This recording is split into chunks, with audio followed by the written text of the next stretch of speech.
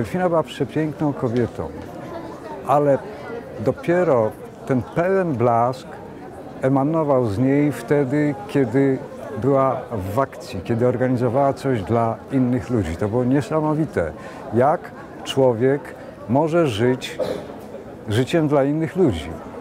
Coś wspaniałego. Delfina wyrastała w Ameryce Łacińskiej, w Argentynie. Kiedy miała 12-13 lat, uciekała z domu rodzinnego w Buenos Aires do slumsów.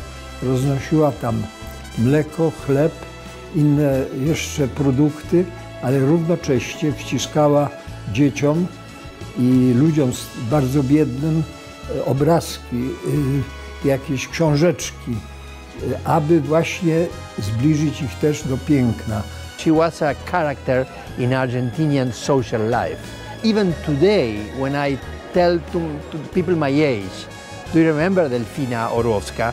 They all remember her. Delfina miała rodzinę wielonarodowościową, ale każda gałąź tej rodziny miała jakieś wyraźne zainteresowanie artystyczne. Delfina Potocka to była cioteczna pra, pra, pra babka Delfiny.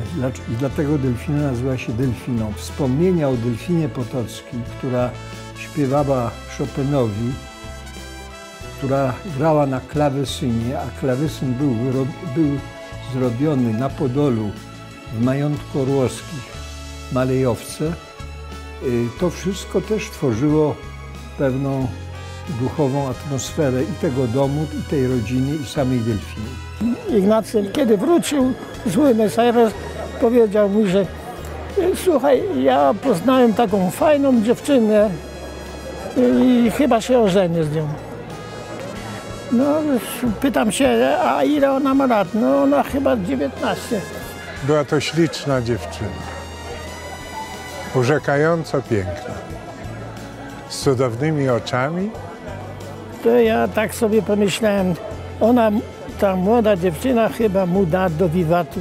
I rzeczywiście do wiwatu mu dała, bo wkrótce potem wyszedł na świat Kacper. I potem kolej do najpierw Soledata, potem Ignasz i, yy, i Benjamin.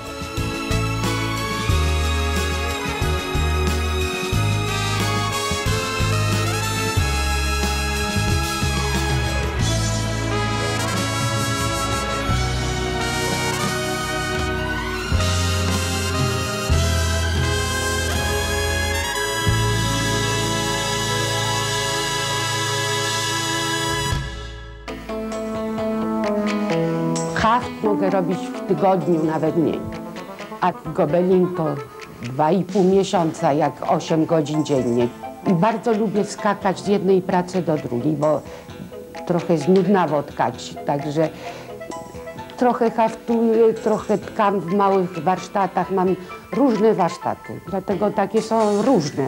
Ale jak są razem, to są takie podobne, że to mnie się wydaje, że są różne, a potem jak są na wystawy, widać, że to jest mój pazur. E, Widać po moich kolorach, że się nie boję, że hafty też są takie trochę dzikawe.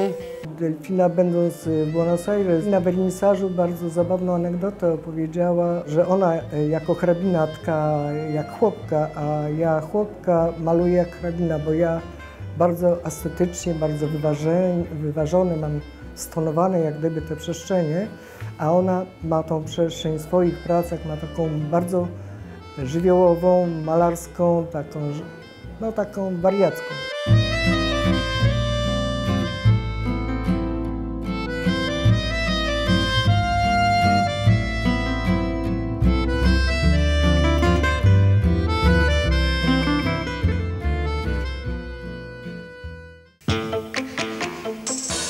Realizacja mojego życia to jest ta galeria. Nie tylko tworzenia, tylko galeria. To było 12 lat temu. E, Powstała Galeria Delfiny. Galeria ta się różniła od innych, że była po pierwsze non-profit. Artysta za nic nie płacił.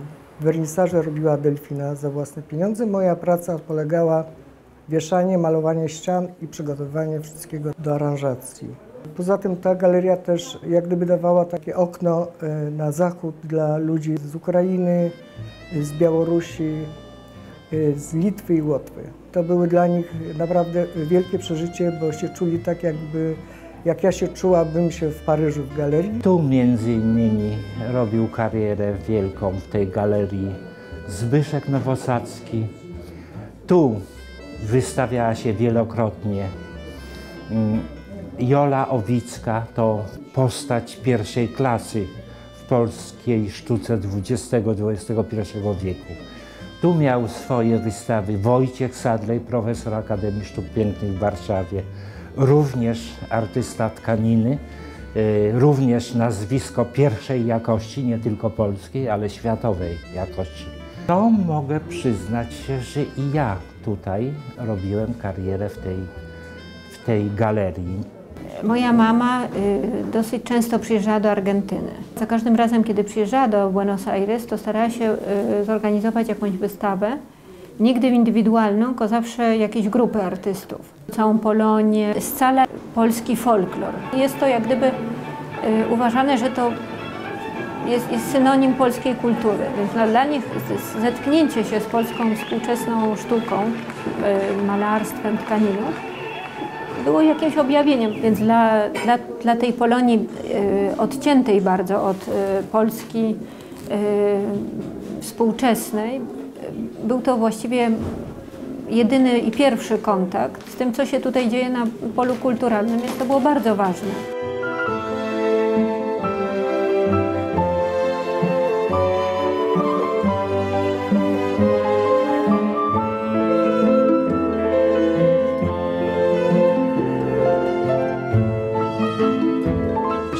Definitely helped Polish art to be known in, in Argentina.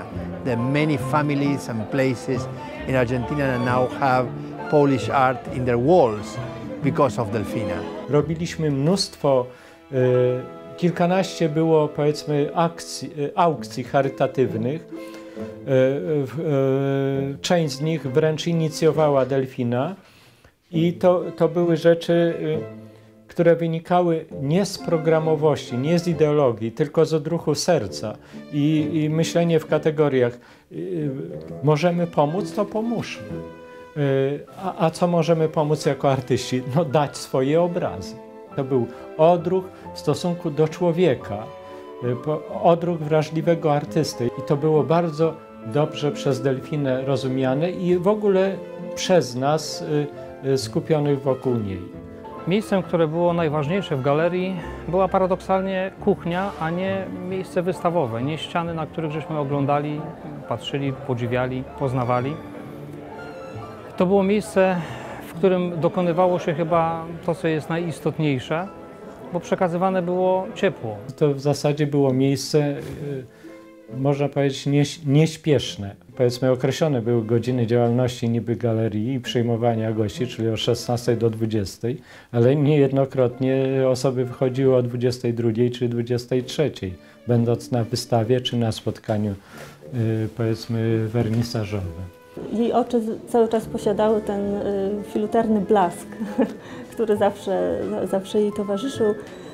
I cały czas nie przestała wspominać y, różnych anegdot, zabawnych y, wydarzeń i nie przestawała się śmiać.